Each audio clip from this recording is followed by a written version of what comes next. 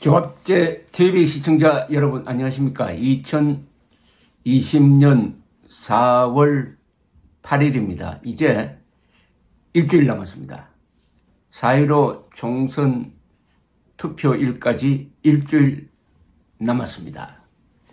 그동안 조합제 TV를 시청해 주시고 구독해 주시고 특히 회원으로 가입해 주신 분들께 감사를 드립니다. 이번 총선에 대해서도 객관적인 자세를 유지하면서도 어떻게 하면은 이번 총선을 통해서 자유를 지켜낼 수 있느냐 하는 방향으로 보도를 해 드리고 있습니다. 지금 판세는 수치로는 미래통합당 그리고 자유진영 정당이 불리합니다. 그러나 총선은 모릅니다. 총선은 여론조사가 맞은 적이 별로 없습니다.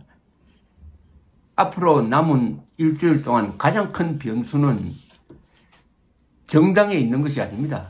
가장 큰 변수는 국민들이 가지고 있습니다. 특히 60대 이상의 국민들이 가지고 있습니다. 60대 이상의 보수적이고 나라를 걱정하는 이 유권자가 몇 명이냐면 1200만 명입니다. 60대 이상 유권자가 전체 유권자의 27.3%입니다. 이 60대 이상의 투표율입니다. 60대 이상의 투표율이 가장 큰 변수입니다.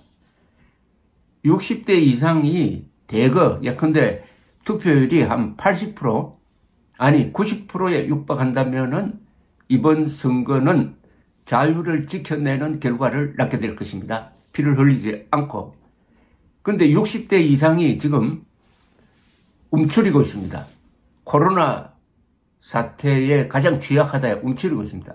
또 60대 이상을 위협하는 게 있습니다. 공돈입니다. 정권이 나눠주는 공짜 복지에 60대 이상도 물들고 있습니다. 이 두 장애물을 어떻게 극복하고 순수한 마음으로 돌아가서 애국심을 발휘할 것이냐? 휠체어를 타고 아들에게, 아들에게 업혀서라도 투표장으로 나와야 합니다. 투표장을 통해서 체제를 지키느냐, 놓치느냐가 결정될 텐데, 투표장이 결국 6.25의 전선입니다. 제2의 6.25인데요. 제2의 6.25는 총을 쏘는 전쟁이 아니고, 전작이 아니고, 투표, 표를 던지는 표가 총알입니다. 표가 총알입니다. 표를 던지는 여기에 60대가 주축이 돼가지고 주변 사람들, 가족들 이끌고 투표장으로 나오면은, 많이 나오면은, 많이 나오면은 정의가 이깁니다. 진실이 이깁니다. 자유가 이깁니다. 물론 여론조사를 보면은 오늘 중앙일보 신용호 논설위원이 쓴 보면은 주제가 이렇습니다.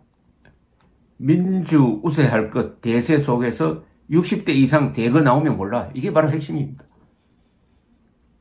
이 판을 지금 기울어져 가는 판을 뒤집을 수 있는 주인공은 60대 이상입니다. 60대 이상이 역사를 만드느냐 못 만드느냐는 거죠. 중앙일보의 설문조사에 의하면은 아, 질문조사군요. 10명 중 전문가, 전문가 10명 중 8명은 민주당 우세를 예상을 하고 2명은 아직 모른다. 아직 모른다. 이렇게 이야기를 했는데 좌파 진영 전체를 그러니까 열린민주당, 정의당, 더불어시민당, 더불어민주당 다 합쳐가지고 160석을 차지할 것이다. 이런 전망이 있고 그게 아니다 하는 소수 의견이 두 사람이 있었습니다. 보수 진영은 통합당과 위성정당인 미래한국당, 국민의당, 기독자유통일당, 그리고 우리공화당, 친박진당 등이겠죠. 그런데 여기에 흥미로운 내용이 있습니다. 여덟 명이 다 지금 민주당 우세하다고 했는데 그렇게 생각하지 않는 사람이 두 사람이 있습니다. 두 사람.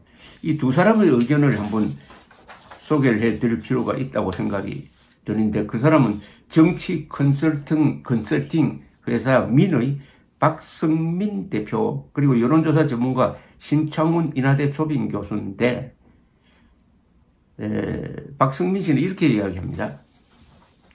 지금 여론조사에서 통합당 지지율이 체감하는 것보다 너무 낮게 나온다. 반대로 민주당은 높다. 수도권 30, 40대의 민주당 후보에 대한 지지, 가60 내지 65%, 통합당은 25% 안팎, 그리고 60세 이상의 민주당 지지는 30 내지 35%, 통합당 지지는 50 내지 55%라는 조사, 55%라는 조사를 많이 봤는데, 실제로 60대 이상은 지지율 차이가 더 벌어질 것이고, 30, 40대는 더 좁혀질 것 같은 느낌이 든다.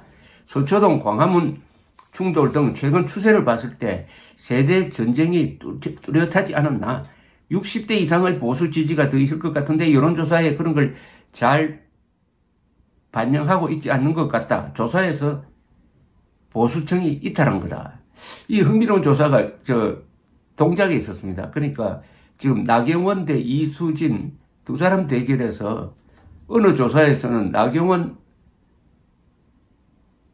한 3% 포인트, 3% 포인트로 이기는 걸로 나오고, 그 다음날 조사에서는 10% 지는 걸로 나왔는데, 그 비밀이 뭐냐 하면은, 이기는 쪽으로 나온 것은 집전화, 집전화로 30%를 했고, 지는 쪽에서는 집전화를 10%로 잡았다.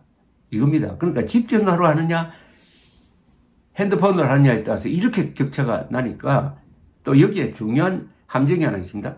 지금 문제, 응답하는 사람들 보면은 문재인을 찍었다는 사람이 과거에는 40, 선거에서는 41%였는데 득표율이 2017년 5월 대선에서 문재인 씨의 득표율이 41%였는데 실제로 여론조사를 해보면은 문재인 찍었다는 사람이 그보다 훨씬 더 많이 나옵니다. 즉, 문재인 지지층이 과대표되고 있다. 그렇다면 여론조사 전체에 문제가 있는 것 아니냐 하는 이런 시각이 있다는 겁니다. 그리고 이게 충청권에 대해서도 이 박성민 씨는 충청권에서 민주당이 이기기 힘든 구조가 있다. 충청 대망론이 수건인데 안희정 전 지사는 구속이 돼 있고 반기문 전 유엔 사무총장도 그렇고 윤석열 검찰총장도 충청인데 이 정권에서 충청 대망론을 밟고 있다. 여기에 대해서 충청권의 반응이 반응이 호락호락하지 않을 것이다. 이런 이야기를 했습니다. 그런데 중앙일보 신용호 노조위원이 그렇다면 야당이 앞설 수도 있다는 건가에 대해서 박성민 씨의 대답은 그걸 단정할 수 없고 그래서 수도권 정보가 중요하다. 수도권 121석 중 민주당이 80석 정도 승리하면은 이기는 거다. 반면 통합당은 50석 정도 건지면은 일당이 될 수 있다. 이런 이야기였습니다. 코로나가 이슈를 선거 이슈를 완전히 덮었지만 은 최근 다시 유시민, 윤석열 조국이 소환됐다. 이 말은 유시민, 윤석열 조국이 자꾸 거론되고 이게 문재인 정권이 이낙연을 자기 대권 후보로 지지하는 게 아니라 조국을 지금 대통령으로 만들려고 하는 거 아니냐 하는 이런 이야기가 나오면서 상당히 열린민주당에 불리할 수도 있는 이런 구조도 있다. 이런 이야기를 했습니다. 그래서 결론은 어디냐 하면은 여론조사 이런 거 다 이제 일주일 남았으니까 무시해버리고 애국 시민들이 해야 될 일은 투표장에 나가자 하는 캠페인입니다. 투표장에 나가자. 공명선거 하기 위해서 투표장에 나가자. 투표장에 나가자. 특히 60대 이상이 많이 나가자. 이게 총선 여론조사가 흔들리는 것을 많이 보았는데요. 2016년으로 한번 돌아가 봅시다. 그때 투표일 일주일 전에 여론조사가 지금과 비슷합니다. 그때도 새누리당이 거의 3분의 2를 차지할 수 있다는 여론조사가 나왔습니다. 그런데 뚜껑을 여니까 제2당이 되고 말았습니다. 그 일주일 사이에 무슨 일이 있었느냐? 국민들을 지리하게 했던 새누리당의 공천파동 플러스 플러스 안철수의 등장입니다. 안철수 정당의 등장 중도 또 하나 내가 투표장에 안 나가도 새누리당 이긴다 라고 해서 새누리당 지지자가 투표장에 안 나간 겁니다. 이게 합쳐져서 1대 2변이 일어났습니다. 그리고 2012년 12월 대통령 선거 당시에 문재인 박근혜 그날 투표일 오전에는 문재인 후보가 앞서고 있었습니다. 거기에 위기가 물느낀 이 50대, 60대 이런 사람들이 사발 통문을 해가지고 오후에 투표율이 높아졌어요. 50대, 60대가 집중적으로 나가서 한때 50대, 60대의 투표율은 한 80%를 기록했습니다. 그래서 박근혜 대통령 후보가 100만 표 이상 차이로 이길 수 있었습니다. 투표율입니다. 이제 간단하게 됐습니다. 앞으로 일주일 동안 투표율, 투표하러 나가자. 좋은 구호가 있지 않습니까? 또 속으면은 개돼지, 안 속으면 자유민. 공명선거 캠페인도 됩니다. 투표장에 나가자. 엎혀서도 나가자. 휠체어 타고도 나가자. 기어서도 나가자. 투표장에 나가자입니다. 감사합니다.